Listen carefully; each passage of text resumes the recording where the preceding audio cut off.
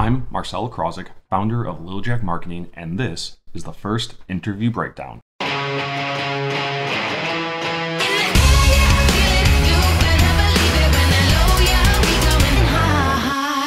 Leadership. There's countless books on the subject, numerous models on the subject, but why is it such a sought after and valuable skill to have? What does being a good leader allow you to accomplish? In this interview breakdown, I had the opportunity to talk to the director of national production for CertaPro Painters. He's a triathlete and a musician, Mr. Jonathan Hino. We covered a range of topics, including the skill of teaching leadership development, a common thread all business owners go through, and to be successful, how to be intentional with your time. One book I read early in my career, even before I started Lil Jack, I may have been uh, in school still during this time, is a book called 21 Indispensable Qualities of a Leader. Link in bio. Our interview breakdown did cover a lot of the qualities that are in this book. However, my biggest takeaway from our interview is that you can't do this alone. Uh, you can't be the answer, you can't get everything done all by yourself. So let's jump over to the interview and let's hear what Jonathan had to say on the subject. In the company, we have about 375 franchisees. Mm-hmm. Uh, of those franchisees, they'll have anywhere between five to uh, 30 different crews mm-hmm. or job site supervisors. And then within each crew or job site supervisor, there's on average 2.75 So, Jeez. not like a quarters of a, of a person, but you know, the crews can range from two to four to five people. On average, it's about two and a half. So, um, in our peak season, we will look at, and I'll be in charge of helping train up to 10,000 people. There's 10,000 bodies that yeah. are producing work, putting paint on walls for a certain. And I got to make sure that all of them are doing it relatively the same and giving yeah. the customer the best experience. What I focus on is the productivity of our supervisors. So, how much can we paint within a certain amount of time and making sure that that makes sense. Uh, I look at communication with our supervisor. How well do they communicate with the customer?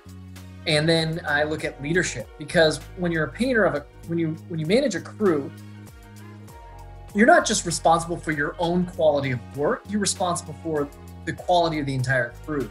So leadership and coaching and teaching others how to hit certain expectations when it comes to quality of paint uh, is, is a key factor. I think one of the biggest ahas, right? Um, I've always been a person uh, that grabs the bull by the horns and just forces things to happen. Mm-hmm. Like an entrepreneur, you know, or, or you run a small business, sometimes, not sometimes, most you're everything. You are the end all be all, and you're the guy that has to make it happen. Now, you're going to have some employees that help you along the way, but at the end of the day, you take extreme ownership.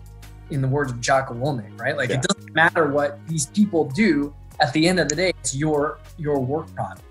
Um, what I realized very quickly in this role is I can't control 10,000 painters. I can't just show up and do all the painting work. College Pro, there was an element of if if was hitting the fan, I could go out and fix it myself. But in in an organization that does well over half a billion dollars of paint work, I can't be that guy. Mm-hmm. And and as our franchisees are growing, they can't be that person either.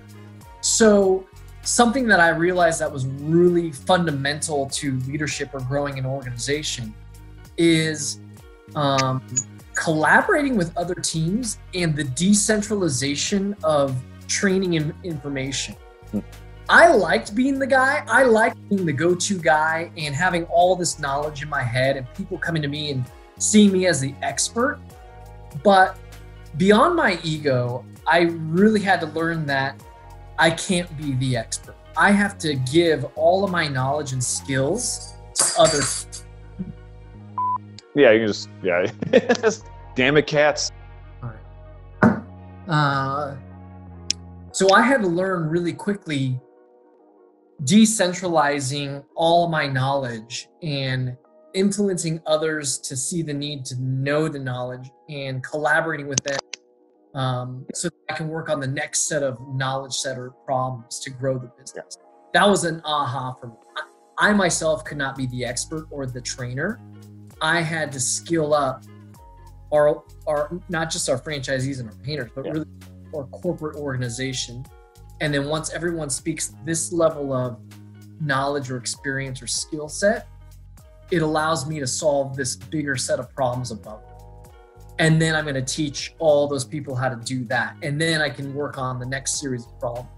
So I really had to pump the brakes um, and strategize very clearly around what does this graduated learning look like mm-hmm. for everyone in the organization for me to not always be the expert, but continue to grow as the expert in my knowledge and then distribute that knowledge processes. When you're working with these guys, what is usually the biggest recurring theme? Uh, I mean, I'm sure there's a whole bunch of things that you base on, but what is like the, the main theme that's like, hey, you know what, there's a 9% chance this is going to come up working with these guys? Yeah. So what's amazing is that, uh, so we have franchisees that have been CEOs of organizations or their own business owners or successful salespeople. Um, and they've been attracted to CertaPro for a variety of lines. The common thread that I see in uh, a lot of the different businesses as a restrainer for their growth is the franchise owner's own leadership skills and commitment to becoming a better leader or a commitment to uh, identifying their potential as that always comes up. I can teach skills and tactics and these these things. I can teach how to watch a thing or how to do a thing. But that thing doesn't matter unless the mindset of the leader is is in place the right way. So the things that franchisees really struggle with is just leading, influencing, and inspiring their people mm-hmm. so they can grow the business because the franchisee can't do everything. Just like I was saying, they they can't do all the sales, they can't produce all the work, they can't do all the administrative, they can't do all the money side. It's too much to watch. So what do we learn? We learn that from his experience, and I can agree that I've gone through this too, that in order to be successful, especially when it comes to leading a team and working with other people, you have to let go of your ego. You can't be the go-to person to answer and solve every problem.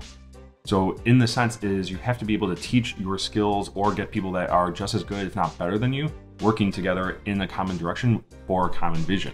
And as a leader, it comes down to you to teaching this and recognizing it and helping them be the important people and those cornerstones to the business to help it grow and scale as you need it to. Well, I hope you had fun and learned something today with our interview breakdown. In the description below, I'll go ahead and put links to everything we talked about today, uh, including the books, the models, and any other references that uh, you could potentially use to help you along your uh, journey of becoming a better leader. And until next time, thank you very much for watching.